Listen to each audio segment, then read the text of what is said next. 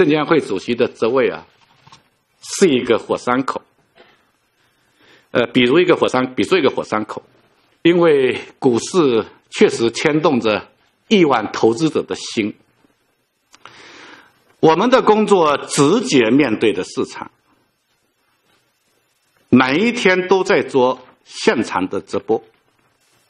所以说，不管你愿不愿意，不管你喜不喜欢，